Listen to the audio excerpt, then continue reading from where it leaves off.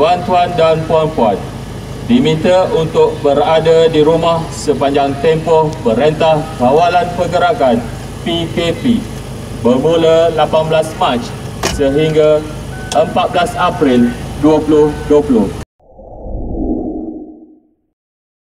Ini ebahan khas Pejabat Penerangan Daerah Kemaman.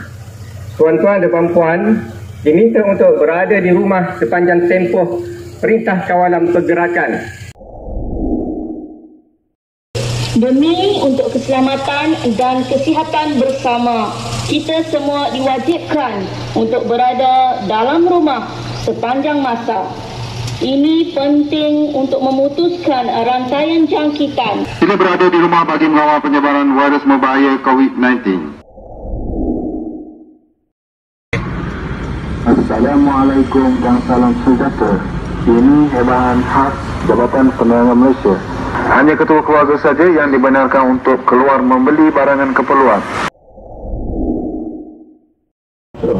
Tuan-tuan dan puan-puan, ini adalah bahasa Jabatan Penerangan Malaysia. Terus amalkan langkah-langkah pencegahan dan kebersihan secara optimal.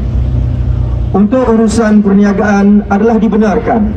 Arahan kerajaan juga hanya ketua keluarga yang perlu keluar rumah membeli barangan keperluan. Ini hebahan khas Jabatan Penerangan Malaysia. Tuan-tuan dan puan-puan sekalian diminta untuk berada di rumah sepanjang tempoh perintah kawalan pergerakan bagi mengekang penyebaran virus COVID-19.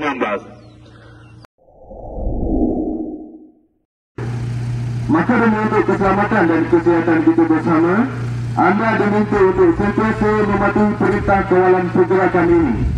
Pergerakan anda di luar rumah perlu dihadkan sepanjang tempoh tersebut.